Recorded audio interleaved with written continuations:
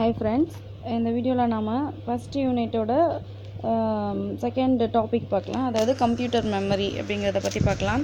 So நம்ம சிலபஸில் பார்த்தீங்கன்னா computer memory overview cache memory அப்படின்னு கொடுத்துருக்காங்க.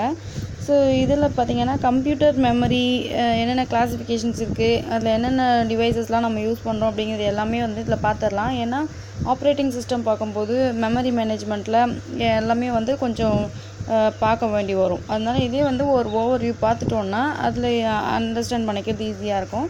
ஸோ இப்போ வந்து நம்ம கம்ப்யூட்டர் மெமரினா என்ன அது எதுக்காக யூஸ் பண்ணோம் அதில் டைப்ஸ் என்னென்ன இருக்குது இதெல்லாமே வந்து ஒரு ஓவர் வியூ பார்த்துடலாம். ஓகே ஸோ கம்ப்யூட்டர் மெமரி வந்து கம்ப்யூட்டர் சிஸ்டம்லேயே வந்து ரொம்ப இம்பார்ட்டண்ட்டான எலமெண்ட்டு ஏன்னா நம்ம வந்து ஒரு ஏதோ ஒரு ஆப்ரேஷன் பர்ஃபார்ம் பண்ணுறோம் அப்படின்னு பார்த்தீங்கன்னா அதுக்கு இன்புட் கொடுப்போம் அவுட்புட் வரும். நடுவில் இன்டர்மீடியட் ரிசல்ட் இருக்கும். நம்ம கொடுக்குற அந்த ப்ரோக்ராம்க்கான இன்ஸ்ட்ரக்ஷன்ஸ் இருக்கும். ஸோ எல்லாமே வந்து ஒரு பர்டிகுலர் மெமரியில் ஸ்டோர் பண்ணி அந்த மெ அதுலேருந்து ஆக்சஸ் பண்ணி தான் வந்து நம்ம சிபியூ மூலமாக என்ன பண்ணுறோம் ப்ராசஸிங் பண்ணுறோம் ஓகே ஸோ எல்லாத்தையும் ஸ்டோர் பண்ணி வச்சு அப்புறமா தான் இன்ஸ்ட்ரக்ஷன்ஸை ப்ராசஸ் பண்ண முடியும் அப்படிங்கிறதுனால ரொம்ப இம்பார்ட்டண்ட்டான எலமெண்ட் எது அப்படின்னு பார்த்தீங்கன்னாக்கா கம்ப்யூட்டர் மெமரி ஓகே ஸோ இந்த கம்ப்யூட்டர் மெமரியில் பார்த்தீங்கன்னா ஏ ஆக்சுவலி கம்ப்யூட்டர் மெமரிங்கிறது என்ன அப்படின்னு பார்த்தோம்னா இது வந்து ஒரு எலக்ட்ரானிக் ஹோல்டிங் பிளேஸ் அதாவது நீங்கள் கொடுக்குற எல்லா இன்புட் அவுட்புட்லேருந்து இன்டர்மீடியட் ரிசல்ட்லேருந்து இன்ஸ்ட்ரக்ஷன்லேருந்து எல்லாத்தையும் ஸ்டோர் பண்ணி வைக்கிறதுக்கு ஒரு எலக்ட்ரானிக் பிளேஸ் எலக்ட்ரானிக் பிளேஸ் அதாவது கெப்பாசிட்டர் டிரான்சிஸ்டர்ஸ் இந்த மாதிரியான விஷயங்கள். அதுதான் வந்து என்னென்னா எலக்ட்ரானிக் ஹோல்டிங் பிளேஸ் அப்படின்னு சொல்கிறோம் ஓகே மெமரிங்கிறது என்னது? Electronic holding place okay so இப்போ பார்த்தீங்கன்னா ஒரு கம்ப்யூட்டர் இப்போ மெமரி அப்படின்னு எடுத்துக்கிட்டிங்கன்னா அதில் நிறைய கேரக்டரிஸ்டிக்ஸ் இருக்கும். ஸோ அதில் ரொம்ப இம்பார்ட்டண்ட்டான கேரக்டரிஸ்டிக்ஸ் அப்படின்னு எடுத்துக்கிட்டிங்கன்னா கெப்பாசிட்டியும் ஆக்சஸ் டைமும் நீங்கள் வந்து ஒரு இன்புட் கொடுக்குறீங்க அப்படின்னா அந்த இன்புட் எவ்வளோ சீக்கிரத்தில் போயிட்டு மெமரியில் ஸ்டோர் ஆகுது அப்படிங்கிறதும் இல்லை ஸ்டோர் ஆகிருக்கிற இன்ஃபர்மேஷனை நீங்கள் ரீட் பண்ண போகிறீங்க அப்படின்னா அது எவ்வளோ சீக்கிரத்தில் நம்ம வந்து எடுத்து ஆக்சஸ் பண்ண முடியுதுங்கிறது தான் வந்து access time okay okay capacity அப்படிங்கிறது என்னென்னா எவ்வளோ டேட்டாவை நம்ம வந்து அந்த மெமரியில் ஸ்டோர் பண்ண முடியும் அப்படிங்கிறது தான் வந்து கெப்பாசிட்டி ஓகே ஸோ நமக்கு வந்து நிறைய கெப்பாசிட்டியை ஸ்டோர் பண்ணணும். ஆனால் ஆக்சஸ் டைம் வந்து ரொம்ப சீக்கிரமாக அதாவது ஆக்சஸ் டைம் வந்து லெஸராக இருக்கணும். அண்ட் ஸ்பீடு மெமரியோட ஸ்பீடும் அதாவது ஆக்சஸ் டைம் தான் வந்து ஸ்பீடில் வரும். ஸோ கெப்பாசிட்டி வந்து ஹையராகவும் ஆக்சஸ் டைம் வந்து லெஸராகவும் இருந்தாக்கா நமக்கு ரொம்ப நல்லா இருக்கும். ஓகே ஸோ இந்த இந்த பேசிஸில் வந்து என்னென்ன uh, மெமரிஸை வந்து நம்ம யூஸ் பண்ணுறோம் அப்படிங்கிறத கொடுத்துருக்கோம். பாருங்கள் இப்போ வந்து சிபியூ தான் வந்து உங்களோட ப்ராசஸிங் எல்லாம் பண்ண போகுது. ஸோ சிபியூ சிபியூக்கு அடுத்து வந்து ரொம்ப ஷார்ட்டாக ரொம்ப சீக்கிரமாக வந்து பக்கத்துலேயே இருந்து சீக்கிரமாக ரொம்ப ஃபாஸ்ட்டாக ஆக்சஸ் ஆகுறது அப்படின்னு பார்த்தீங்கன்னா ரெஜிஸ்டர் ரெஜிஸ்டர்ஸில் தான். ரெஜிஸ்டர்ஸ் வந்து செவன் ரெஜிஸ்டர்ஸ் இருக்கும் நம்ம சிஸ்டமில் அக்யூமுலேட்டர் அப்படின்னு பிசிடிஎஃப் அப்படி இருக்கும் வந்து செவன் அக்யூமுலேட்டர்ஸ் இருக்கும். ஸோ அதில் வந்து ரெஜிஸ்டர்ஸ் அது என்னென்னா ரொம்ப ஃபாஸ்ட்டாக வந்து நம்ம ப்ராசஸ் பண்ணணும். ரொம்ப ஃப்ரீக்வெண்ட்டாக யூஸ் பண்ணுற வேல்யூஸ் எல்லாம் வந்து எங்கே ஸ்டோர் பண்ணலாம் அப்படின்னா ரெஜிஸ்டரில் ஸ்டோர் பண்ணலாம். அப்போ வந்து நம்ம டக்குன்னு எடுத்து யூஸ் பண்ணிக்கிறதுக்கு இருக்கும். ஸ்பீடு வந்து இன்க்ரீஸ் ஆகும். அடுத்து வந்து கேட்ச் மெமரி கேட்ச் மெமரிங்கிறது நம்ம ஃப்ரீக்வெண்ட்டாக யூஸ் பண்ணுற டேட்டாஸை டேட்டாவையும் இன்ஸ்ட்ரக்ஷன்ஸையும் வந்து நம்ம கேட்ச் மெமரியில் ஸ்டோர் பண்ணுவோம். அப்போ வந்து அடிக்கடி யூஸ் பண்ணுறது அப்படிங்கிறதுனால ஃபாஸ்ட்டாகவும் ஒர்க் ஆகும். ஓகே மெயின் மெமரி எடுத்துக்கிட்டிங்கனாக்கா கேட்ச் மெமரிக்கு அப்புறம் வந்து main memory next magnetic disk டே மேக்னெட்டிக் டேப்ஸ் இதெல்லாம் பார்த்தீங்கன்னா ரெஜிஸ்டருங்கிறது கொஞ்சமாக அந்த செவன் ரெஜிஸ்டர்ஸ் தான் இருக்கும் ஓகே நெக்ஸ்ட்டு கேட்ச் மெமரியில் வந்து ஓரளவு கொஞ்சம் கெப்பாசிட்டி இருக்கும். மெயின் மெமரி அதை விட கொஞ்சம் அதிகமாக இருக்கும். நெக்ஸ்ட்டு மே மேக்னெட்டிக் டிஸ்க்கு டேப்ஸ் இதெல்லாம் பார்த்தீங்கன்னாக்கா மெமரி வந்து ஐராரிக்கி பார்த்தீங்கன்னா மேலேருந்து கீழே பார்த்தீங்கன்னா மெமரியோட சைஸ் வந்து இன்க்ரீஸ் ஆகிட்டே போகும். ஸ்மால்லேருந்து ஹையராக இருக்கும் ஓகே அண்ட் அதே வந்து கு- அஹ் இப்போ சிபியூ இப்போ வந்து மேக்னெட்டிக் டேப்லேருந்து சிபியூக்கு அப்வர்ட் டைரெக்ஷனில் நம்ம வந்து பார்க்குறோம். அப்போ வந்து ஸ்பீட் பார்த்தீங்க அப்படின்னா டேப்லேருந்து disk main memory cache memory ரெஜிஸ்டர்னு அதோட ஆக்சஸிங் டைமும் இல்லை பர்ஃபாமன்ஸ் ஸ்பீடும் பார்த்தீங்கன்னா ஹையராக இருக்கும். ஓகே அப்போ ரெஜிஸ்டர்லேருந்து சிபியூ எடுத்து ஆக்சஸ் பண்ணுற டைம் வந்து ரொம்ப ஃபாஸ்ட்டாக இருக்கும். மே மேக்னெட்டிக் டேப்போ மேக்னெட்டிக் டிஸ்க்லேருந்து ஆக்சஸ் பண்ணுறதை விட ரெஜிஸ்டர் கேஷ் மெமரியில் ஆக்சஸ் பண்ணுற அந்த ஆக்சஸ் டைம் வந்து அதிகமாக இருக்கும். அப்போ வந்து அதாவது ஆக்சஸ் டைம் வந்து லெஸ்ஸராக இருக்கும். அதனால் பர்ஃபார்மன்ஸ் பார்த்திங்கன்னா ஹையராக இருக்கும். ஓகே ஸோ நெக்ஸ்ட்டு நம்ம என்ன பார்க்க போகிறோம் அப்படின்னு பார்த்தீங்கன்னா டைப்ஸ் ஆஃப் மெமரி நார்மலி வந்து கம்ப்யூட்டர் மெமரி அப்படின்னு எடுத்துக்கிட்டிங்கனாவே டூ டைப்ஸ் ஆஃப் மெமரி இருக்குது ஒன்று ப்ரைமரி மெமரி மெய் செகண்டரி மெமரிங்கிறது ப்ரைமரி மெமரியை வந்து வேறு என்ன எப்படி சொல்லுவோம் அப்படின்னா மெயின் மெமரி ஏன்னா அதுதான் அந்த மெ நம்ம ப்ராசஸ் பண்ணுற எல்லாமே அதில் எடுத்துகிட்டு போய் வச்சு தான் வந்து நம்ம ப்ராசஸ் பண்ணுவோம். ஓகே அதனால் வந்து மெயின் மெமரின்னு சொல்கிறோம் செகண்டரி மெமரியை ஆக்சிலரி மெமரி அப்படின்னு சொல்லுவோம் ஓகே அண்ட் um, இப்போ மெமரி அப்படின்னு எடுத்துக்கிட்டிங்கனாக்கா அது ரிலேட்டடான ரொம்ப இம்பார்ட்டண்ட்டான வேர்ட்ஸ்லாம் நம்ம தெரிஞ்சுக்கலாம். அதுக்கு வந்து பேராமீட்டர்ஸ் ஆஃப் மெமரி அப்படின்னு சொல்கிறோம் ஸோ இந்த என்னென்ன வேர்ட்ஸ் வந்து அது ரிலேட்டடாக இருக்குது அப்படிங்கிறத முதல்ல பார்த்துக்கலாம். இப்போ வந்து ஸ்டோரேஜ் கெப்பாசிட்டி அப்படிங்கிறது என்ன அப்படின்னா um, மெமரியோட சைஸ் தான் என்ன அப்படிங்கிறது ஸ்டோரேஜ் கெப்பாசிட்டி ஓகே ஸோ நார்மலாக வந்து இன்டர்னல் மெமரி இல்லை மெயின் மெமரி எடுத்துக்கிட்டோம் அப்படின்னா அதை வந்து எப்படி என் எப்படி வந்து நம்ம ரெப்ரசன்ட் பண்ணுறோம் எப்படி எக்ஸ்ப்ரெஸ் பண்ணுறோம் அப்படின்னு பார்த்தீங்கன்னா வேர்ட்ஸ் அதாவது வேர்ட்ஸ் ஆர் பைட்ஸாக நம்ம ரெப்ரசன்ட் பண்ணுவோம். ஓகே நம்பர் ஆஃப் பைட்ஸ் எவ்வளோ பைட்ஸ் வந்து இந்த மெமரியில் ஸ்டோர் பண்ண முடியுமோ அதுதான் அதோட கெப்பாசிட்டி ஸ்டோரேஜ் கெப்பாசிட்டி அப்போ வந்து நான் இன் டேர்ம்ஸ் ஆஃப் பைட்ஸை தான் நம்ம வந்து மெமரியோட கெப்பாசிட்டியை எக்ஸ்ப்ரெஸ் பண்ணுறோம் ஓகே நெக்ஸ்ட்டு பார்த்தீங்கன்னா ஆக்சஸ் மோட் ஆக்சஸ் மோடுங்கிறது என்னென்னா இப்போ நாங்கள் ஒரு ஒரு டேட்டாவை எடுத்துகிட்டு போயிட்டு ஒரு மெமரியில் ஸ்டோர் பண்ணுறீங்க அப்படின்னா எப்படி வந்து அந்த மெமரியில் நிறைய மெமரி இருக்கும் இல்லையா? நான் ஒரு thousands of thousand bytes thousand twenty four bytes வந்து ஒரு மெமரியில் இருக்குது அதோட கெப்பாசிட்டி அப்படின்னு சொன்னால் அதில் வந்து நீங்கள் ஒரு டென் பைட்ஸ் வந்து ஸ்டோர் பண்ண போகிறீங்கன்னா அது எந்த பர்டிகுலர் டென் பைட்ஸில் போய் நீங்கள் ஸ்டோர் பண்ண போகிறீங்க அப்படிங்கிறது வந்து அந்த அட்ரஸ் அந்த மெமரியோட லொக்கேஷனை பொறுத்து நீங்கள் வந்து ஸ்டோர் பண்ணுவீங்க. ஓகே அப்படி வந்து மெமரியை வந்து எந்த மாதிரி நீங்கள் ஆக்சஸ் பண்ணுறீங்க ரேண்டமாக எங்கேயோ ஒரு டென் பைட்ஸா இல்லை ஃபஸ்ட்லேருந்து லாஸ்ட்டில் வரும்போது நடுவில் எந்த மெமரி ஃப்ரீயாக இருக்கோ அந்த சீக்வென்ஷியல் மெமரியாக எது ஃப்ரீயாக இருக்கோ அதை எடுத்து ஆக்சஸ் பண்ண போகிறீங்களா இல்லைனா நீங்கள் டேரெக்டாக இந்த அட்ரஸில் தான் போய் ஸ்டோர் பண்ணணும்னு சொல்ல போகிறீங்களா அப்படிங்கிறது உங்கள் வந்து அது யூசரோட சாய்ஸ் ஓகே ஸோ அப்போது ஆக்சஸ் மோடு மெமரியை எந்த மாதிரி எந்த மோடில் நீங்கள் ஆக்சஸ் பண்ணுறீங்க அப்படிங்கிறது தான் வந்து ஆக்சஸ் மோடு அதில் வந்து three types of access modes இருக்குது random sequential direct okay so இந்த த்ரீ டைப்ஸ் ஆஃப் ஆக்சஸ் மோடில் ரேண்டம்னா எங்கே ஏதோ ஒரு இடம் கம் சிஸ்டமே என்ன பண்ணும்? ரேண்டமாக ஏதோ ஒரு பிளேஸ் எங்கே ஃப்ரீயாக இருக்கோ உங்களுக்கு மெமரி எவ்வளோ தேவைப்படுதோ அதுக்கேற்ற மாதிரி எங்கே ஃப்ரீயாக இருக்கோ அதை அலாட் பண்ணும். இல்லை எனக்கு வந்து இதுக்கு இதுக்கு முன்னாடி வந்து சீக்வென்ஸாக ஒரு வந்து எயிட் ஹண்ட்ரட் வரைக்கும் ஃபுல்லாக இருக்குது அப்படின்னா அடுத்தது எயிட் ஹண்ட்ரட்லேருந்து எயிட் ஹண்ட்ரட் டென் வரைக்கும் நீங்கள் வந்து ஆக்சஸ் பண்ண போகிறீங்க ஸ்டோர் பண்ண போகிறீங்க அப்படின்னா அது சீக்வென்ஷியல் ஓகே இல்லை நான் இந்த பர்டிகுலர் டே அட்ரஸ் கொடுக்குறேன். அந்த அட்ரஸில் தான் போய் ஸ்டோர் பண்ணணும் அப்படின்னாலும் அது வந்து டைரக்ட் மெமரி ஆக்சஸ் ஓகே இதுதான் வந்து மோடு ஆக்சஸ் மோடுங்கிறது த்ரீ டைப்ஸு மெமரி லொக்கேஷனை நீங்கள் எந்த மாதிரி மோடில் ஆக்சஸ் பண்ண போகிறீங்கங்கிறது தான் வந்து ஆக்சஸ் மோடு ஓகே நெக்ஸ்ட்டு பார்த்தீங்கன்னா ஆக்சஸ் டைம் ஆக்சஸ் டைமுங்கிறது என்ன?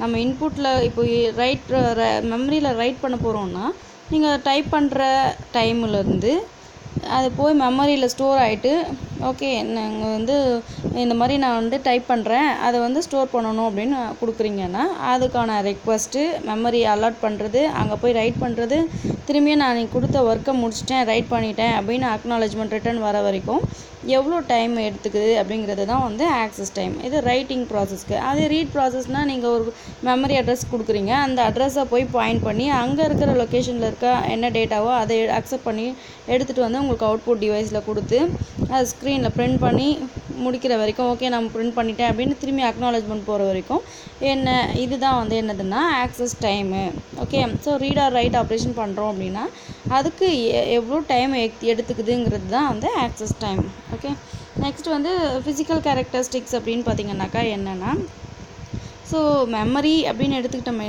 என்ன காம்போனண்ட்டை வச்சு நம்ம அந்த மெமரி வந்து இருக்குது அப்படிங்கிறது அதோட க ஃபிசிக்கல் என்னென்னா ஃபோர் மெயின் கா கேட்டகரிஸில் வந்து ஒரு மெமரி வந்து இருக்கும். ஓகே அது என்னென்ன? எலக்ட்ரானிக் மெமரியாக இருக்கலாம் மேக்னெட்டிக்காக இருக்கலாம் மெக்கானிக்கல் அண்ட் ஆப்டிக்கலாக இருக்கலாம். ஓகே ஸோ மெமரி வந்து three components sorry four basic components வச்சு நம்ம கன்ஸ்ட்ரக்ட் பண்ணுறோம் ஸோ அது என்னென்ன அப்படின்னு பார்த்தீங்கன்னா எலக்ட்ரானிக் மெமரியாக uh, இருக்கலாம் மேக்னெட்டிக் இல்லை மெக்கானிக்கல் ஆர் ஆப்டிக்கல் மெமரி இந்த ஃபோர் டைப்ஸில் தான் வந்து மெமரிங்கிறது கன்ஸ்ட்ரக்ட் பண்ணுவோம். நெக்ஸ்ட்டு வந்து performance of storage performance of storage அப்படின்னு எடுத்துக்கிட்டிங்கனாக்கா நீங்கள் எந்த மாதிரியான மெமரியை வந்து நீங்கள் யூஸ் பண்ணுறீங்க அப்படிங்கிறத பொறுத்து உங்களோட அந்த ஆக்சஸ் டைமோ இல்லை பெர்ஃபார்மன்ஸோ இருக்கும். ஓகே ஸோ மேக்னெட்டிக் மெட்டீரியல்ஸாக நீங்கள் யூஸ் பண்ணுறீங்க மெமரியில் அப்படின்னு பார்த்தீங்கன்னா அதோட பெர்ஃபார்மன்ஸ் வந்து ரொம்ப ஹையாக இருக்கும். ஓகே ஸோ நெக்ஸ்ட்டு நம்ம டைப்ஸ் ஆஃப் மெமரிக்கு வந்துடலாம் ஸோ ஃபஸ்ட்டு வந்து பார்த்திங்கனாக்கா ப்ரைமரி மெமரி அது செகண்டரி மெமரின்னு டூ டைப்ஸ் ஆஃப் மெமரி இருக்குது அண்ட் ப்ரைமரி மெமரியை அதர்வை this primary memory is otherwise called as main memory okay and main memory பார்த்திங்கன்னா டேரெக்டாக சிபியூ எந்த மெமரியோட கம்யூனிகேட் பண்ணுது அப்படிங்கிறமோ அதை தான் வந்து மெயின் மெமரின்னு சொல்கிறோம் சிபியூ வந்து ஒரு மெமரியோட டேரெக்டாக கம்யூனிகேட் பண்ணுது நீங்கள் இதை அந்த ஒர்க்கை பண்ணுங்கள் இதை ஆப்ரேஷன் பண்ணுங்கள் இதை ரீட் பண்ணுங்கள் ரைட் பண்ணுங்கன்னு டேரெக்டாக கம்யூனிகேட் பண்ணுற எந்த மெமரியோ அதை தான் நம்ம என்ன சொல்கிறோம்னா மெயின் மெமரி அப்படின்னு சொல்கிறோம் ஸோ இந்த ப்ரைமரி மெமரி அப்படின்றது பார்த்தீங்கன்னாக்கா இன்ட்ரிமி இமீடியட்டாக என்ன ஆப்ரேஷன்ஸ் பண்ணுறோமோ அதோட ஒர்க்கு அதோட கீப் அதாவது என்னென்னா இப்போ ஒரு ப்ரோக்ராம் ரன் பண்ணிகிட்ருக்கீங்க அட் டைமில் சிபியூவில் நீங்கள் வந்து சாரி சிஸ்டமில் வந்து ஒரு C plus plus program run பண்ணுறீங்க அப்படின்னு வச்சுட்டிங்கன்னா அந்த ப்ரோக்ராம் ரன் பண்ணிட்டு இருக்கும்போது அதோட இன்ஸ்ட்ரக்ஷன்ஸ் எத்தனை லைன் ஆஃப் இன்ஸ்ட்ரக்ஷன்ஸ் நீங்கள் கொடுத்துருக்கீங்க? அண்ட் இப் கரண்ட்டாக எந்த லைன் எக்ஸிக்யூட் ஆகிட்டுருக்கு அண்ட் அங்கேருந்து இப்போ ஃபங்க்ஷன்ஸ்லாம் கால் பண்ணுறோன்னாக்கா அப்போது எந்த லைனில் இருந்து நம்ம ஃபங்க்ஷனுக்கு ட்ரான்ஸ்ஃபர் ஆகிருக்கோம் இப்போ ஃபங்க்ஷன் கால் முடிஞ்சதுக்கப்புறமா எந்த லைனுக்கு நம்ம வரணும்? அப்படிங்கிற அந்த அட்ரஸ் எல்லாமே வந்து அந்த ட்ராக் எல்லாமே பார்த்திங்கனாக்கா மெமரியில் ஸ்டோர் பண்ணி வச்சுட்டு தான் வந்து ப்ராசஸ் ஆகும். ஓகே அதே மாதிரி நீங்கள் இதை மேனிப்புலேஷன் பண்ணும்போது டேட்டா இன்புட் டேட்டா இருக்கணும். அது இன்டர்மீடியட் ரிசல்ட் இருக்கணும். இப்போ ஒரு ஃபைவ் வேல்யூஸ் நம்ம ஆட் பண்ணுறோம் அப்படின்னா அந்த ஃபைவ் வேல்யூஸை ஒன் ஒரு டூ வேல்யூஸ் ஃபஸ்ட்டு ஆட் பண்ணுவோம். அதோட இன்டர்மீடியட் ரிசல்ட் கிடைக்கும். அது கூட தான் வந்து தேர்ட் வேல்யூ ஆட் பண்ணுவோம். அந்த கூட இன்னொரு ஃபோர்த் வேல்யூ அப்புறம் தான் ஃபிஃப்த் வேல்யூ ஆட் பண்ணுவோம். அப்போ வந்து ஒவ்வொரு முறையும் வந்து என்ன பண்ணுறோன்னா இன்டர்மீடியட் ரிசல்ட்ஸும் கிடைக்கும் நமக்கு. அப்புறமா ஃபைனலாக அவுட்புட் கிடைக்கும். ஓகே ஸோ இந்த மாதிரி ஒரு மேனிப்புலேஷன்ஸோட கரண்ட் ப்ரோக்ராமோட ப்ரா ட்ராக்கையும் இன்ஸ்ட்ரக்ஷன்ஸையும் இன்டர்மீடியட் ரிசல்ட்ஸு இன்புட் அவுட்புட் எல்லாத்தையுமே வந்து எங்கே ஸ்டோர் பண்ணி வைக்கும் அப்படின்னு பார்த்தீங்கன்னா கரண்ட்டாக ஒர்க் ஆகிட்டு இருக்க அந்த ப்ரோக்ராமோடது மட்டும்தான் ப்ரைமரி மெமரியில் இருக்கும். ஓகே ஸோ இது வந்து பார்த்திங்கன்னாக்கா வேலடைல் மெமரி வே அதாவது பவர் வேலடைல் நான் வேலடைல் அப்படின்னு ரெண்டு வேர்ட்ஸ் வந்து ஃப்ரீக்வெண்ட்டாக யூஸ் பண்ணுவோம் மெமரியில் ஸோ வேலடைல் அப்படிங்கிறது என்னென்னா பவர் இப்போ நீங்கள் யூஸ் பண்ணிகிட்ருக்கீங்க அப்படின்னா திடீர்னு பவர் ஷட் டவுன் ஆகுது இல்லை பவர் நீங்கள் தெரியாமல் சுவிட்ச் ஆஃப் பண்ணிட்டீங்க அப்படின்னா பவர் போகலை பவர் கட் ஆயிடுச்சு சிஸ்டம்க்கு போகலை அப்படின்னாவே நீங்கள் அந்த இப்போ வரைக்கும் நீங்கள் அந்த மெயின் மெமரியில் ஸ்டோர் பண்ணிகிட்டு இருந்த அந்த வேல்யூஸ் எல்லாமே என்ன ஆகும்னா லாஸ்ட் ஆகிடும் ஓகே லாஸ் ஆகிடும் அதனால் இதை என்ன சொல்கிறோன்னா வாலட்டைல் அப்படின்னு சொல்கிறோம் அழிஞ்சு போகக்கூடியது அப்படிங்கிறது தான் என்ன சொல்கிறோன்னா வாலட்டைல் அப்படின்ட்டு. ஸோ மெயின் மெமரியில் வந்து நமக்கு தேவையானது எதுவோ அதை மட்டும் தான் யூஸ் பண்ணணும். அது எப்போவுமே வந்து ஸ்டோர் ஆகிட்டே இருக்குது அப்படின்னா நோ யூஸ் அதனால் வந்து என்ன பண்ணுறோன்னா வாலடைல் மெமரியாக வச்சுப்போம் மெயின் மெமரியை எப்போ தேவையோ அப்போ வந்து யூஸ் பண்ணிப்போம். வேறு அடுத்த ப்ரோக்ராம் ரன் பண்ணும்போது அதுக்கு அதோட ரிசல்ட்ஸ் தான் வந்து அதோட கோட்ஸ்லாம் வந்து நம்ம ஸ்டோர் பண்ண போகிறோங்கிறதுனால அது வாலடைலாக இருக்கும். பவர் ஷட் டவுன் ஆச்சுன்னா தானாக வந்து அதோட மெமரி வந்து கிளியர் ஆகிடும் லாஸ் ஆகிடும் ஓகே ஸோ இப்போ வந்து ப்ரைமரி மெமரி அப்படின்னு எடுத்துக்கிட்டிங்கனாக்கா அதை அகைன் டூ கிளாஸிஃபிகேஷன்ஸாக சொல்கிறோம் என்னென்னா ரேமு ரோம் அப்படின்னு. மெயின் மெமரியை டூ கிளாஸிஃபை பட் பண்ணுறோம் ரேமு ரோமு ஓகே ரேம் அப்படிங்கிறது என்ன? ரேண்டம் ஆக்சஸ் மெமரி நம்ம கம்ப்யூட்டரில் வந்து நம்மளோட ப்ராசஸிங் ஸ்பீடு வந்து இன்க்ரீஸ் ஆகணும் அப்படின்னாவே ரேம் வந்து கெப்பாசிட்டியே பார்ப்போம். ரேம் நல்லா ஒர்க் ஆகுதா? இல்லை ரேமோட கெப்பாசிட்டி எப்படி இருக்குது அப்படிங்கிறத பார்ப்போம். ஓகே ஸோ அப்போது ரேமுங்கிறது தான் வந்து மெயின் மெமரி மெயின் மெமரியில் ஒரு ஒரு பார்ட்டு ஒரு one of the main memory என்னதுன்னா ரேமு ரேமுங்கிறது ரேண்டம் ஆக்சஸ் மெமரி இதெல்லாம் வந்து ஒன் மார்க்ஸில் வரும்.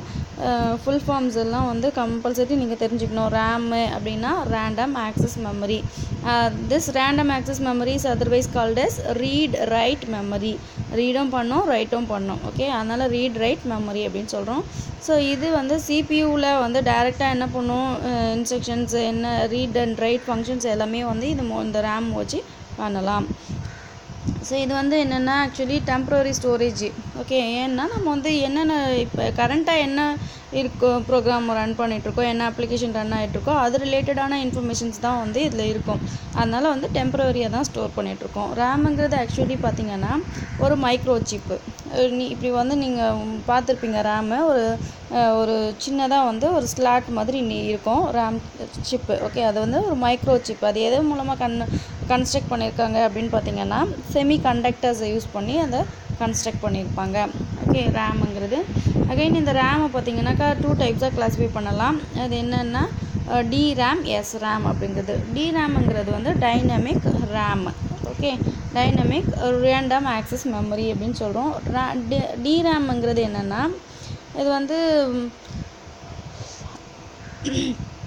இதில் மெமரி செல்ஸ் நிறைய மெமரி செல்ஸ் இருக்கும். ரேமில் வந்து டி ரேம் அப்படிங்கிறது டைனமிக்கு நிறைய மெமரி செல்ஸ் இருக்கும். ஒவ்வொரு மெமரி செல்லுலேயும் பார்த்திங்கன்னா ஒரு கெப்பாசிட்டரும் ஒரு டிரான்சிஸ்டரும் இருக்கும். அந்த கெப்பாசிட்டரில் தான் வந்து என்னென்னா நீங்கள் வந்து எலக்ட்ரிக் பல்ஸ் அனுப்புவீங்க.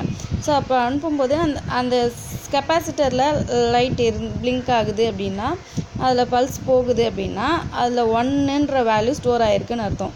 அது வந்து கெப்பாசிட்டரில் சிக்னல் எலக்ட்ரிக் சிக்னல் இல்லை ஆஃபில் இருக்குது அப்படின்னா ஜீரோ இருக்குதுன்னு அர்த்தம். ஓகே ஸோ இந்த மாதிரி தான் நம்ம வந்து நம்ம கம்ப்யூட்டர் சிஸ்டமில் நம்ம எல்லாமே வந்து ஜீரோஸ் அண்ட் ஒன்ஸாக தான் ஸ்டோர் பண்ணுறோம் அதனால் ஒவ்வொரு மெமரி செல்லுலேயும் என்ன இருக்கும்? ஒரு கெப்பாசிட்டரும் ஒரு டிரான்சிஸ்டரும் இருக்கும். ட எதுலன்னா டைனமிக் ரேமில் ஓகே அண்ட் இதில் பார்த்திங்கன்னா எலக்ட்ரிக் பல்ஸ் வச்சு நம்ம செட் பார்க்குறோம் இல்லையா? அதனால வந்து ஒரு செகண்ட் எடுத்துக்கிட்டிங்க அப்படின்னா அந்த பர் செகண்டுக்கே வந்து தௌசண்ட்ஸ் ஆஃப் டைம்ஸ் வந்து அதோட மெமரியை இதை ஆட்டோமேட்டிக்காக வந்து என்ன பண்ணுன்னா ரெஃப்ரெஷ் பண்ணிக்கிட்டே இருக்கும்.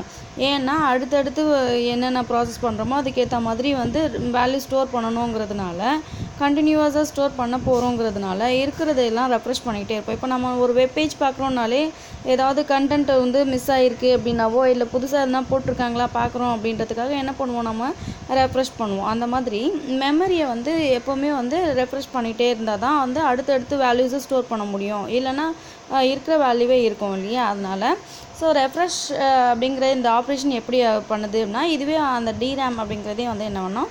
பர் செகண்டுக்கு தௌசண்ட்ஸ் ஆஃப் டைம்ஸ் வந்து ஆட்டோமேட்டிக்காக ரெஃப்ரெஷ் பண்ணிகிட்டே இருக்கும். ஸோ இந்த ரெஃப்ரெஷும் பண்ணணும். நீங்கள் கொடுக்குற வேலையும் செய்யணும். அதாவது ஸ்டோர் பண்ணணும் ரீட் பண்ணணும் ரைட் பண்ணணும் எல்லாத்தையும் பண்ணணும் இல்லையா? அதனால் வந்து இதோட ப்ரா ப்ராசஸிங் வந்து எப்படி இருக்கும்னா ஸ்லோவாக இருக்கும். ஓகே ஸோ இது வந்து ஒரு கெப்பாசிட்டர் ஒரு டிரான்சிஸ்டர் தான் ஒவ்வொரு மெமரி செல்லுலையும் யூஸ் பண்ணுறோம் அதனால் வந்து கொஞ்சம் எக்ஸ்பென்சிவ் வந்து லெஸ் எக்ஸ்பென்சிவாக தான் இருக்கும்.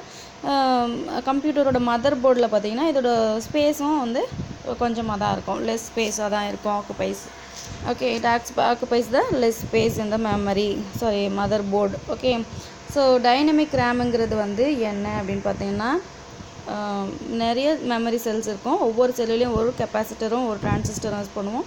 அது ரெஃப்ரெஷ் பண்ணிகிட்டே இருக்கும். ஓகே அதனால் ஸ்லோவாக இருக்கும். லெஸ் எக்ஸ்பென்சிவ் தான். ஓகே அண்ட் நெக்ஸ்ட்டு பார்த்தீங்கன்னா ஸ்டாட்டிக் ரேம் ஸ்டாட்டிக் ரேம் அப்படிங்கிறது.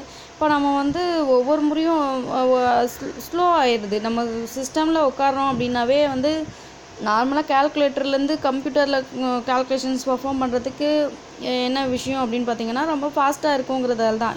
இப்போ டிராம் யூஸ் பண்ணும்போது நமக்கு ஸ்லோவாக இருக்குது அப்படின்னா அது வந்து ரெக்டிஃபை பண்ணணுங்கிறதுக்காக என்ன பண்ணாங்க? ஸ்டாட்டிக் ரேமுங்கிறத கொண்டு வந்தாங்க.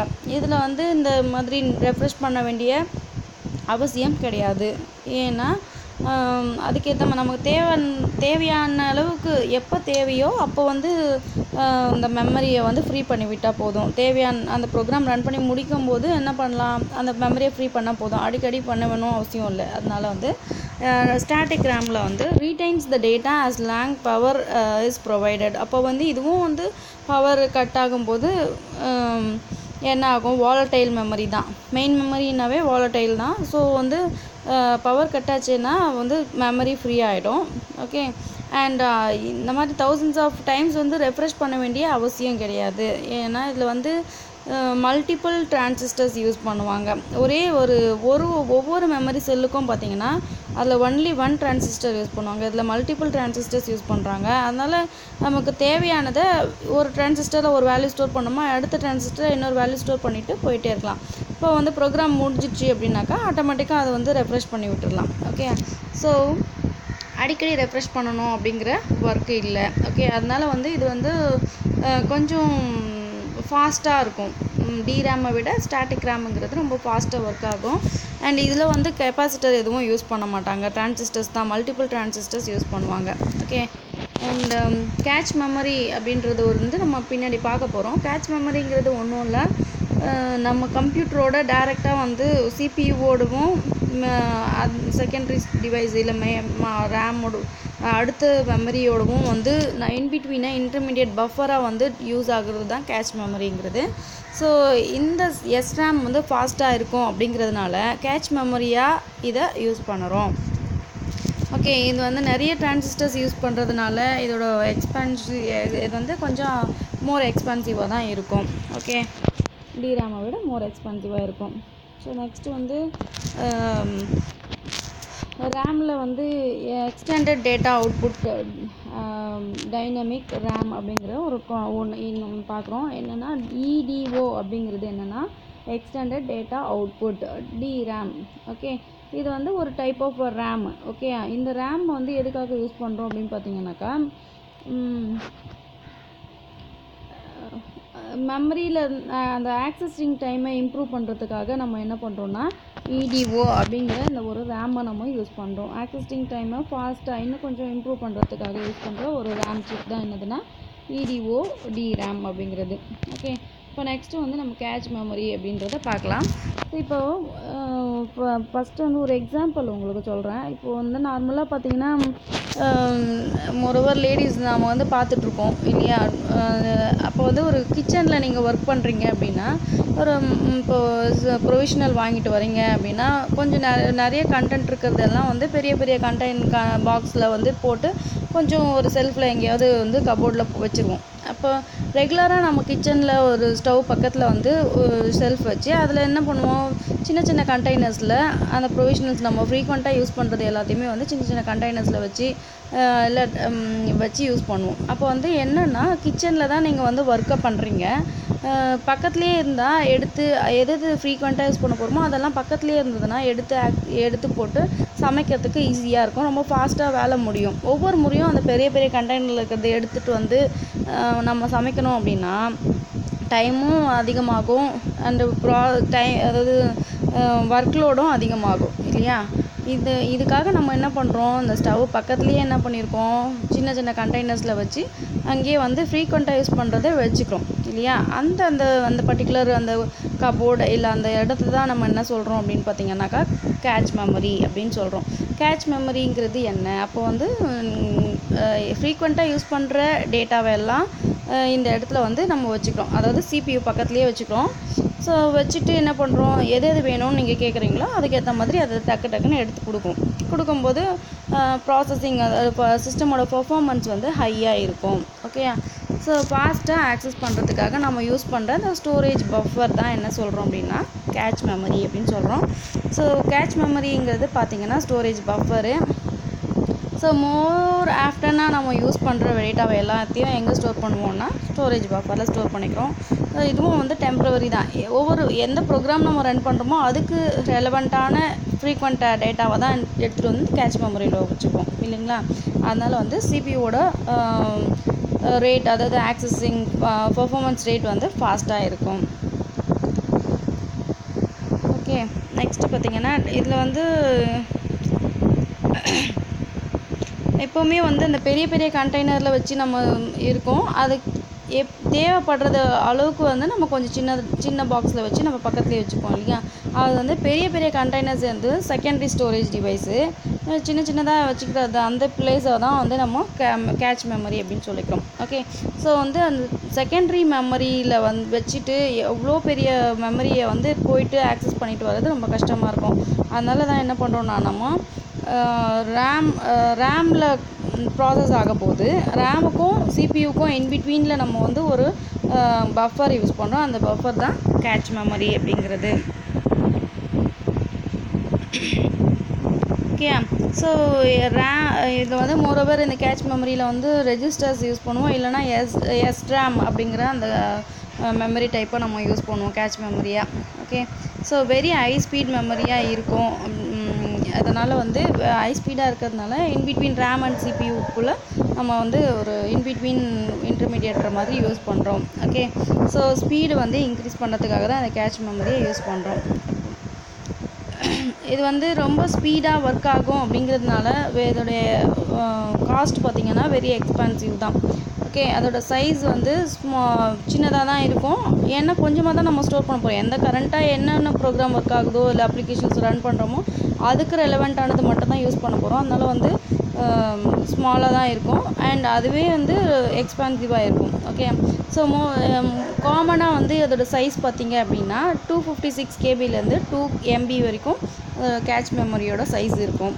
ஓகே ஸோ இது வரைக்கும் நம்ம வந்து ரேமை பற்றி பார்த்தோம். நெக்ஸ்ட்டு ப்ரைமரி மெமரியிலேயே வந்து செகண்ட் டைப் என்ன அப்படின்னு பார்த்தோன்னா ரோம் ரோம் வந்து இதுவும் இது வந்து ஒரு நான் வாலடைல் மெமரி அதாவது என்னென்னா பர்மனெண்ட் மெமரி நான் வாலடைல்னால் இப்போ பவர் ஆஃப் ஆகுது அப்படின்னா வந்து நோ ப்ராப்ளம் நான் வந்து பர்மனெண்ட்டாக ஸ்டோர் பண்ணிட்டேன். பவர் ஆஃப் ஆனாலும் பரவாயில்ல அப்படின்னு சொல்லிட்டு அது அப்படியே தான் இருக்கும். ஓகே அதனால் வந்து நான் வாலடைல் மெமரி ரோம்ங்கிறது ரோம் அப்படின்றதோட ஃபுல் ஃபார்ம் பார்த்தீங்கன்னா read only memory okay and read only memory இதில் வந்து ஒன்லி நீங்கள் அதாவது ஒரு ஒன்ஸ் நீங்கள் அந்த சி ஏதோ ஒரு மெமரியை வந்து டெவலப் பண்ணிட்டீங்க மேனுஃபேக்சர் பண்ணிட்டீங்க அப்படின்னா அந்த மேனுஃபேக்சர் டைம்லேயோ இல்லை வந்து நீங்கள் செக் பண்ணிவிட்டு இதுதான் ப்ரோக்ராம் நம்ம கொடுக்க போகிறோம் அப்படின்ட்டு செக் பண்ணிவிட்டு ப்ரோக்ராமை ஒன்ஸ் நீங்கள் ரைட் பண்ணிட்டீங்க அப்படின்னாவே ப்ரோக்ராம் பண்ணிட்டீங்கன்னாவே அந்த சிப் ரோம் சிப் வந்து அதுக்கப்புறம் வந்து மாடிஃபை பண்ண முடியாது. ஓகே ரீ ரைட் பண்ண முடியாது ரீப்ரோக்ராம் பண்ண முடியாது. ஒன்ஸ் ரீ ரைட் பண்ணிட்டோம் அப்படின்னா ஜஸ்ட் ரீட் பண் ரீட் மட்டும்தான் பண்ண முடியும். அதனால தான் என்ன சொல்கிறது ரீட் ஒன்லி மெமரி அப்படின்னு சொல்கிறோம் ஓகே ஸோ இதுலேயும் வந்து பார்த்தீங்கன்னாக்கா three types of cache three types இருக்குது இதில். ரோமில் வந்து டூ டைப்ஸ் ரேமில் ஆர்ஏஎம் ரேமில் வந்து டூ டைப்ஸ் டிரேம் எஸ்ரேம்ங்கிறது ரோமில் வந்து த்ரீ டைப்ஸ் ப்ரோக்ராமபிள் மெமரி அதாவது PROM E PROM EE PROM அப்படிங்கிறது. ஓகே ப்ரோம் அப்படிங்கிறது என்னென்னா நீங்கள் ரோம் எடுத்துக்கிட்டீங்க அப்படின்னா இப்போ ஒன்ஸ் நீங்கள் மேனுஃபேக்சர் பண்ணுறீங்க அப்படின்னா ஒரு சிப்பு அதாவது ரோம் சிப்பை வந்து பிளாங்காக மேனுஃபேக்சர் பண்ணிட்டோ இல்லை பிளா மேனுஃபேக்சர் பண்ணும்போதே கூட வந்து என்ன ப்ரோக்ராம் பண்ண அதில் வந்து ரைட் பண்ண போகிறோங்கிறத டிசைட் பண்ணிவிட்டு ரைட் பண்ணிடணும். ஓகே ஃபைனல் டெஸ்டிங்லாம் முடிஞ்சிச்சு. இதுதான் நான் வந்து நான் ரைட் பண்ண போகிறேன் அப்படின்னா அதை ரைட் பண்ணி முடிச்சிட்டிங்க அப்படின்னா ஒன்ஸு அதோடு வந்து சேஞ்ச் பண்ண முடியாது. ஒன்லி ரீட் மட்டும் தான் பண்ண முடியும். ஓகே அது வந்து என்னென்னா ப்ரோக்ராமபிள் மெமரி ஓகே ஸோ இதுவும் ரோமனாவே வந்து நான் வாலட்டைல் மெமரி தான் பர்மனெண்ட்டாக ஸ்டோர் ஆகிடும் ஓகே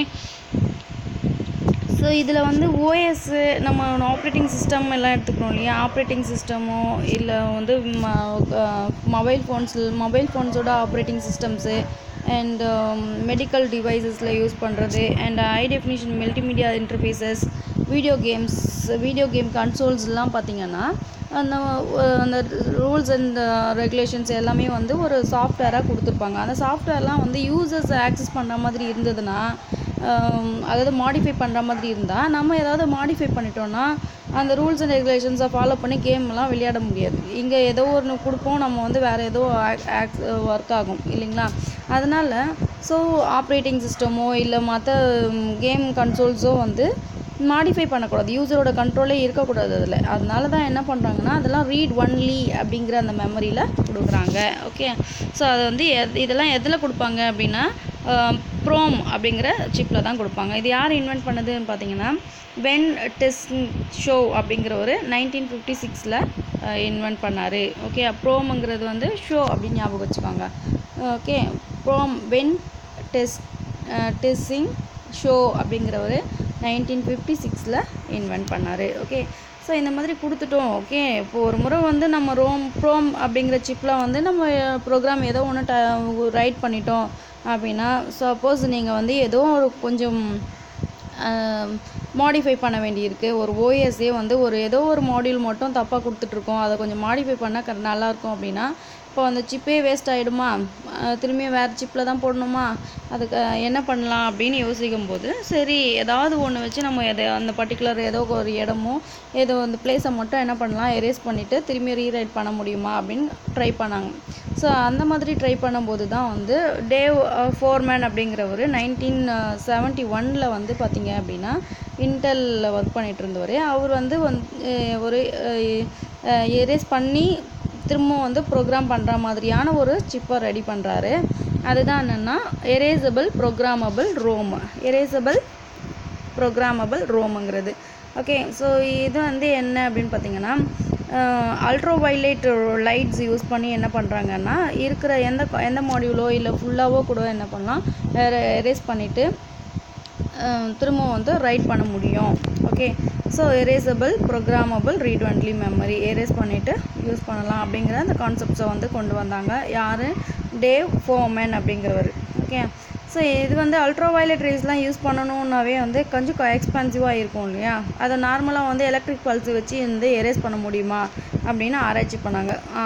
அப்படி பண்ணும்போது ஓகே எலக்ட்ரிக் பல்ஸ் வச்சு பண்ணாக்கா எக்ஸ்பென்சிவ் வந்து ரொம்ப ஹையாக இல்லாமல் கொஞ்சம் லோவாக இருக்கும் இல்லையா? அதனால வந்து கொண்டு வந்த ப்ரா இது தான் என்னென்னா electrically erasable programmable ROM EE அப்படிங்கிறது எலக்ட்ரிக்கலி எரேசபிள் ப்ரோக்ராமபிள் ரோமுங்கிறது அண்ட் இதில் பார்த்தீங்க அப்படின்னா எலக்ட்ரிக்கல் பல்ஸ் வச்சு தான் என்ன பண்ணுவாங்க அப்படின்னா எரேஸ் பண்ணிவிட்டு திரும்பியும் ஒன்று வந்து ரீரைட் பண்ணிக்கலாம். ஓகே பேர்னிங் ப்ராசஸ் அப்படின்னா என்னென்னா ஒரு சிடிலேயோ ஒரு ஒரு மெமரியில் வந்து நீங்கள் ஏதோ ஒரு டேட்டாவை ரைட் பண்ணுறீங்க அப்படின்னா அந்த ரைட்டிங் ப்ராசஸ்க்கு பேர் தான் பேர்னிங்குங்கிறது ஓகே ஸோ எலக்ட்ரிக் பல்ஸ் வச்சு தான் இந்த பேர்னிங் ப்ராசஸை வந்து என்ன பண்ணுறாங்க பண்ணுறாங்க ஸோ இது e, ஈப்ரோம் ப்ரோம் அதை பற்றினது ஓகே இது மட்டும் இது வந்து மெயின் மெமரியை பற்றி இது வரைக்கும் பார்த்தோம் நம்ம.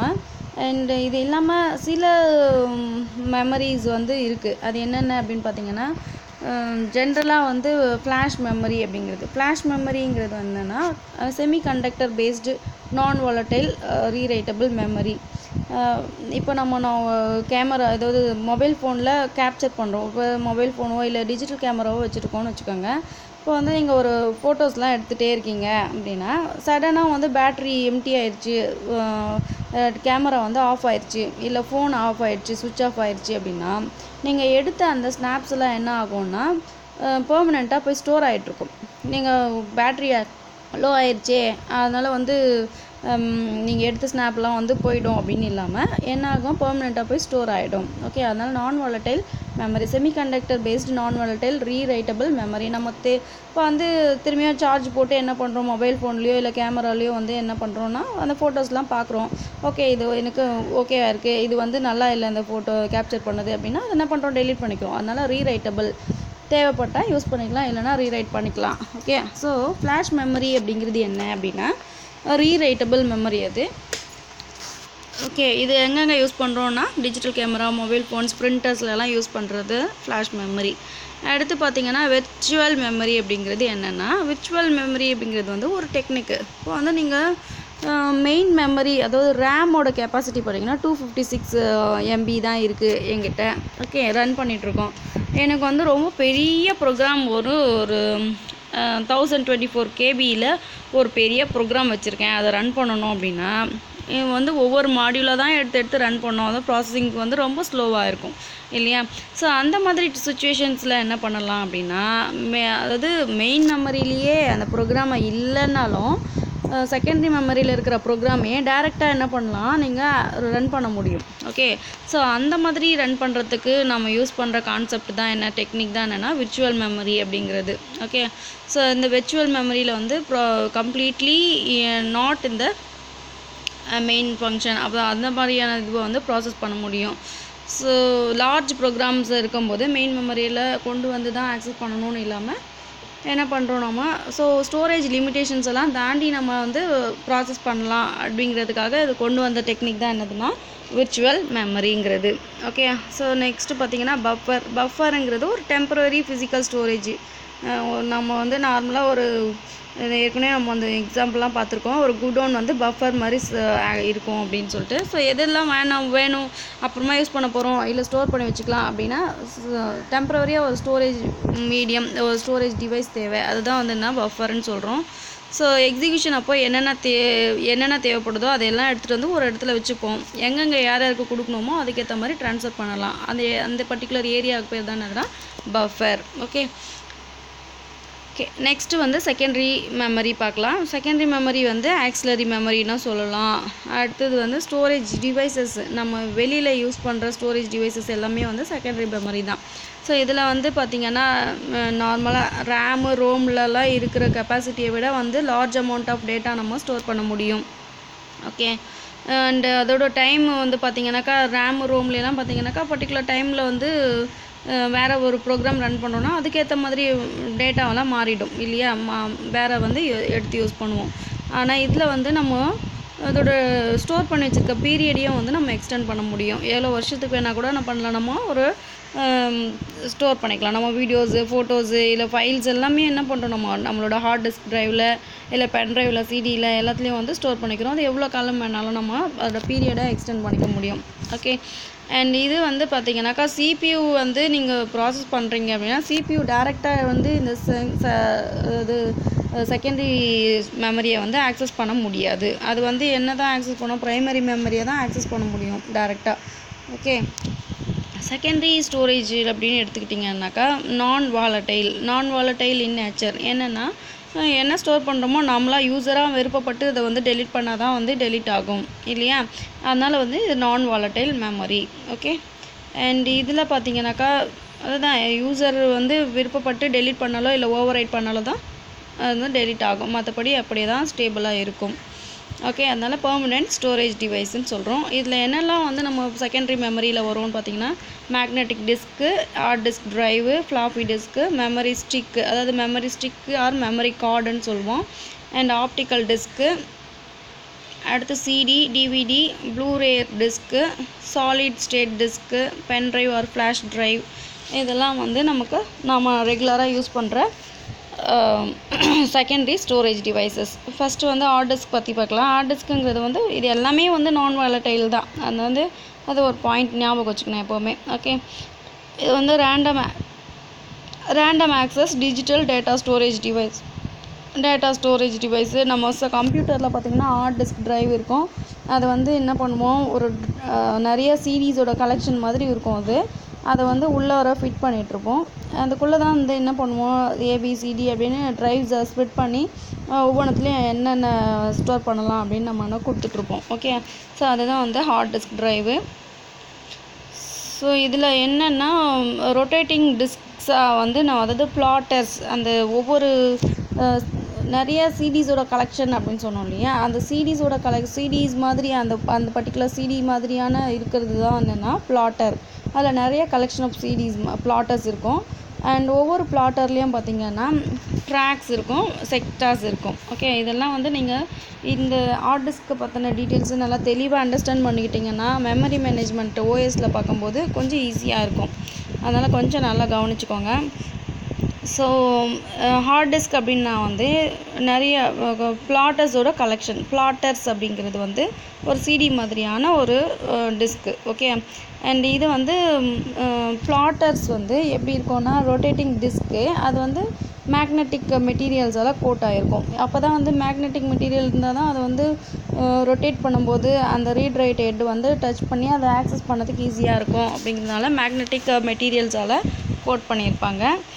அண்ட் uh, இதில் பார்த்தீங்கன்னாக்கா எல்லா ப்ரோக்ராம்ஸும் கம்ப்யூட்டரோட தேவைப்படுற நம்ம டைப் பண்ணுற எல்லா ப்ரோக்ராமும் இதில் ஸ்டோர் பண்ணி வச்சுருப்போம். ஓகே ஸோ இதுதான் வந்து ஹார்ட் டிஸ்க் ட்ரைவு ஓகே இந்த ஹார்ட் டிஸ்க் ட்ரைவை நம்ம ஒரு முறை வந்து இன்ஸ்டால் பண்ணிட்டோம் அப்படின்னா டெய்லியும் வந்து எடுத்து எடுத்து வெளியே பார்க்க போகிறதில்ல ஒன் ஏதாவது ரிப்பேர் பண்ணணும் இல்லை வேறு மாற்றணும் அப்படின்னா மட்டும் தான் வந்து என்ன பண்ணுவோம் அந்த ஹார்ட் டிஸ்க் ட்ரைவை வெளியில் எடுப்போம்.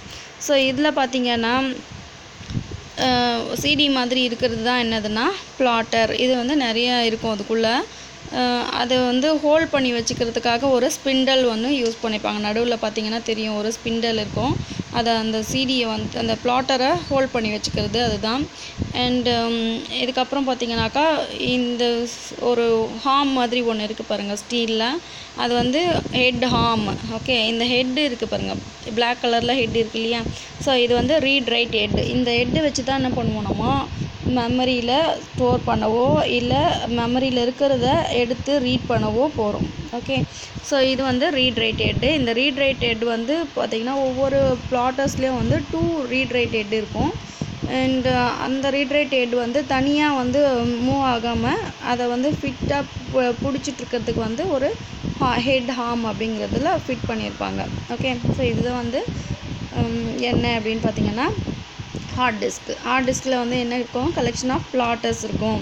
ஓகே ஸோ இப்போ ஒரு பிளாட்டர் மட்டும் எடுத்துக்கிட்டிங்க அப்படின்னா நீங்கள் பார்த்தீங்கன்னா தெரியும். ஒரு பிளாட்டர்னு எடுத்துக்கிட்டிங்கன்னா ஒரு சிடி மாதிரி இருக்கு இல்லையா? சிடிலையும் இதே மாதிரி தான் இருக்கும். ஸோ இதில் பார்த்தீங்கன்னா என்ன நிறைய சர்க்கிள்ஸ் இருக்குது சரிங்களா? அப்போ வந்து ஒவ்வொரு நிறைய சர்க்கிள் இருக்குது அந்த சர்க்கிள்லேயும் வந்து ஆர்க் மாதிரி என்ன நிறைய வந்து செக்ஷன்ஸ் இருக்குது ஓகே ஸோ இப்போ வந்து இந்த இந்த ஒவ்வொரு சர்க்கிளும் வந்து என்ன சொல்கிறோன்னா ட்ராக் அப்படின்னு சொல்கிறோம் ஓகே ஒவ்வொரு சர்க்கிளுக்கும் பேர் என்ன? ட்ராக்கு அந்த ஒரு சர்க்கிள்லேயே பார்த்தீங்கன்னா நிறைய போர்ஷன்ஸ் நிறைய செக்ஷன்ஸ் இருக்குது ஃபார் எக்ஸாம்பிள் இங்கே பாருங்கள் இந்த ப்ளூ லைன்ஸில் நான் கொடுத்துருக்கிறது வந்து செக்ஷன்ஸ் அது அந்த இந்த செக்ஷன்ஸை தான் என்ன சொல்கிறோன்னா செக்டார் அப்படின்னு சொல்கிறோம் ஸோ அதுக்கும் வந்து இப்போ ஃபஸ்ட்டு ரேக்குக்கும் வந்து நேம் இருக்கும் நம்பர் இருக்கும் ஒன் டூ த்ரீ ஃபோர் க்ரீனில் போட்டிருக்கேன் பாருங்கள் so one two three four அப்படின்னு ட்ராக்கோட நம்பர்ஸ் இருக்கும். அண்ட் அது அது இல்லாமல் ஒவ்வொரு ட்ராக்லேயும் பார்த்தீங்கன்னா நிறைய செக்ஷன்ஸ் இருக்கும். அதுவும் வந்து one two three numbers number பண்ணியிருக்கோம். So one two three four five சிக்ஸ்னு நம்பர் இருக்கும். இப்போ ஒவ்வொரு ஒரு ஹார்ட் டிஸ்க் எடுத்துக்கிட்டால் நிறைய பிளாட்டர்ஸ் இருக்கும். ஒரு பிளாட்டர் எடுத்துக்கிட்டால் நிறைய ட்ராக்ஸ் இருக்கும். ஒவ்வொரு ட்ராக்குக்கும் நிறைய செக்டார்ஸ் இருக்கும். ஓகே ஸோ இந்த செக்டார் ஒவ்வொன்றுத்துக்கும் பார்த்தீங்கன்னா அட்ரஸ் இருக்கும். இந்த ட்ராக்ல இந்த பிளாட்டரில் இந்த ஃபஸ்ட்டு பிளாட்டரில் ஃபஸ்ட்டு ட்ராக்ல ஃபிஃப்த்து செக்ஷ செக்டாரில் இருக்கிற வேல்யூவை ஆக்சஸ் பண்ணணும் அப்படின்னு இன்ஸ்ட்ரக்ட் பண்ணுறோன்னா அந்த பர்டிகுலர் டேட்டா என்னவோ அதுதான் ஆக்சஸ் ஆகும். ஓகே ஸோ அப்போ வந்து மெமரி அட்ரஸ் வந்து இந்த மாதிரி தான் நம்ம ஸ்பெசிஃபை பண்ணுவோம். ஓகே ஸோ இதில் நான் சொன்ன இன்ஃபர்மேஷன் தான் வரும். இப்போ வந்து ஸோ ஒவ்வொரு பிளாட்டர்லேயும் பார்த்தீங்கன்னாக்கா two head read write head இருக்கும். அதை ஹோல்ட் பண்ணி வச்சுருது வந்து ஒரு ஸ்பிண்டலு ஸோ இந்த இங்கே பார்த்தீங்கன்னா இந்த ட்ராக் அப்படிங்கிறது சொன்னோம் இல்லையா? ட்ராக்குக்கு வந்து இன்னொரு நேம் என்னென்னா பேண்டுன்னு சொல்லுவோம். இன்ஃபர்மேஷன்ஸ் எல்லாம் பார்த்தீங்கன்னா எந்த எதில் ஸ்டோர் ஆகும்? போயிட்டு அப்படின்னா பேண்ட்ஸில் தான் ஸ்டோர் ஆகும். பேண்டுங்கிறது என்ன அப்படின்னு பார்த்தீங்கன்னா ட்ராக்குங்கிறது நேமு ஓகே அந்த ட்ராக்கை வந்து என்ன பண்ணுறோம் அப்படின்னா நிறைய இப்போ வந்து நிறைய பிளாட்டர்ஸ் இருக்கு இல்லையா? ஒவ்வொரு பிளாட்டர்லேயும் வந்து ஒரு அதே மாதிரி ட்ராக் இருக்கும். ஃபஸ்ட்டு ட்ராக் செகண்ட் ட்ராக் அப்படின்னு. ஸோ அந்த மாதிரி காமனாக வர அந்த ட்ராக்ஸ் எல்லாம் பார்த்தீங்கன்னா அதாவது track location that cuts across all the platters is called as cylinder okay next வந்து ஒவ்வொரு ட்ராக்லேயும் பார்த்தீங்கன்னா பை ஷேப்டு செக்ஷன்ஸாக நம்ம ஸ்ப்ளிட் பண்ணுறோம் அந்த செக்ஷனை தான் என்ன சொல்கிறோம் செக்டார் அப்படின்னு சொல்கிறோம் ஓகே ஸோ நெக்ஸ்ட்டு வந்து ஃப்ளாப்பி டிஸ்க் ஃப்ளாப்பி டிஸ்கில் வந்து என்ன அப்படின்னு பார்த்தீங்கன்னா இது வந்து ஸ்மால் அமௌண்ட் ஆஃப் டேட்டாவை ஸ்டோர் பண்ணி வச்சுக்கிறதுக்காக நம்ம வந்து சின்னதாக வந்து ஃப்ளாப்பி அப்படிங்கிற டிஸ்க் வந்து நம்ம யூஸ் பண்ணுவோம். ஸோ இது வந்து ஹார்ட் டிஸ்க்கை விட வந்து பார்த்திங்கன்னா ஸ்லோவராக தான் இருக்கும். சின்னதாக இருக்கும். அதனால் ஸ்லோவராக இருக்கும். வெளியே நம்ம எப்போ வேணுமோ எடுத்துக்கலாம் அண்ட் ரிமூவ் பண்ணிக்கலாம். அதனால் வந்து இது வந்து எக்ஸ்டர்னல் டிவைஸாக கூட நம்ம யூஸ் பண்ணிக்கிறோம். ஓகே ஸோ ரவுண்ட் ஷேப்பாக இருக்கும். அதில் வந்து பிளாஸ்டிக் டிஸ்க்கு பிளாஸ்டிக் டிஸ்க்கு தான். அது வந்து அயன் ஆக்சைடால் போட்டாயிருக்கும் ஓகே ஸோ இந்த டிஸ்கில் வந்து நிறைய ஸ்லாட்ஸ் இருக்கும். அதில் தான் வந்து என்ன பண்ணுவோன்னா நம்ம டேட்டாவை ஸ்டோர் பண்ணுவோம். ஓகே இது வந்து ரிமூவபிள் ஃப்ரம் த ட்ரைவ் நம்ம வந்து ட்ரைவில் ஃப்ளாப்பி ட்ரைவில் போடலாம் எடுத்துக்கலாம். பென் ட்ரைவ் எப்படி போட்டு எடுத்துக்கிறோமோ அந்த மாதிரி யூஸ் பண்ணும்போது தேவைப்படும் போது எடுத்து ரிமூவ் பண்ணிக்கலாம். ஓகே ஸோ இதில் பார்த்தீங்கன்னாக்கா அதோட த்ரீ டிஃப்ரெண்ட் சைஸஸில் நமக்கு ஃப்ளாப்பீஸ் வந்து கிடைக்குது. Eight inch and five point அதாவது five one by four inch three one by four inch இந்த மாதிரி த்ரீ டிஃப்ரெண்ட் சைஸஸில் நமக்கு கிடைக்குது. இப்போ இந்த வீடியோட கண்டினியூஷனை பார்த்து நெக்ஸ்ட் வீடியோவில் போடுறேன். ரொம்ப லென்த்தியாக இருக்கிறதுனால டூ வீடியோஸை ஸ்ப்ளிட் பண்ணி கொடுத்துருக்கேன் ஓகே இதை கண்டினியூஷன் நெக்ஸ்ட் வீடியோவில் பாருங்கள் கம்பல்சரி தேங்க்யூ